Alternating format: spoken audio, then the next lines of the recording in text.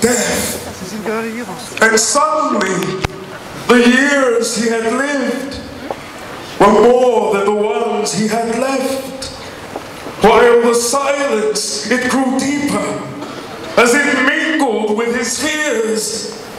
But in that total silence, the muses still whispered in his ear. And from deep inside, they beckoned dance as they deftly wove their porcelain trance of Chinese silk dyed in morphine by princesses so